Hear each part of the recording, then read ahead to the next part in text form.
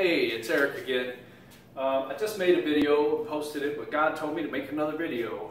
Um, hopefully this one will be shorter because he's got other things that he wants me to do today. But I want to tell you, okay, how about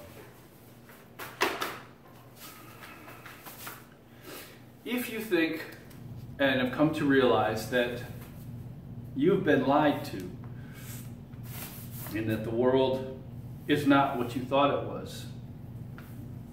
And even many in church leadership have been duped themselves. If you've come to that realization and you're asking, well, where do I get the truth? If you feel like you're having a hard time hearing God, or if you are hearing God but want further, um,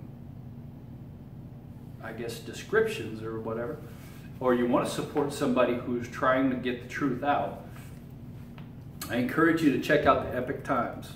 Epoch Times is a newspaper that's, I believe it was originally Chinese. There's a whole sect of Chinese Falun Gong practitioners and Chinese Christians who have been persecuted by communist China, uh, their own country, right?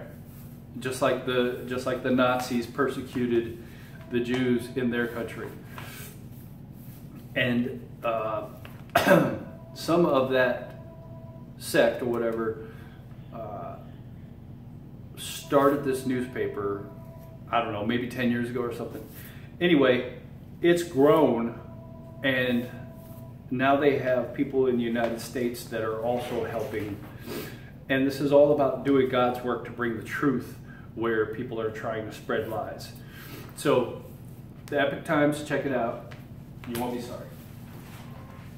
Okay. Um, all right, Lord, what, what do you want me to do with this video?